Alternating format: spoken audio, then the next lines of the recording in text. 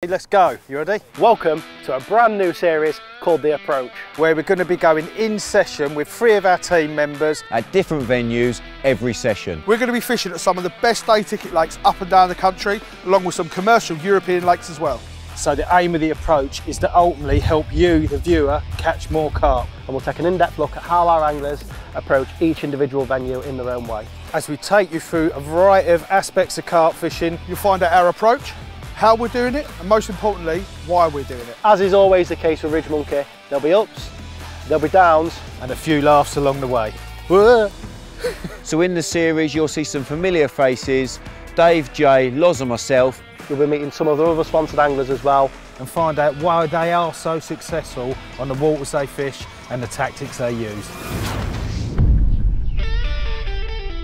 Our trailer will be dropping soon on our social media platforms, so make sure you subscribe to our YouTube channel so you don't miss out.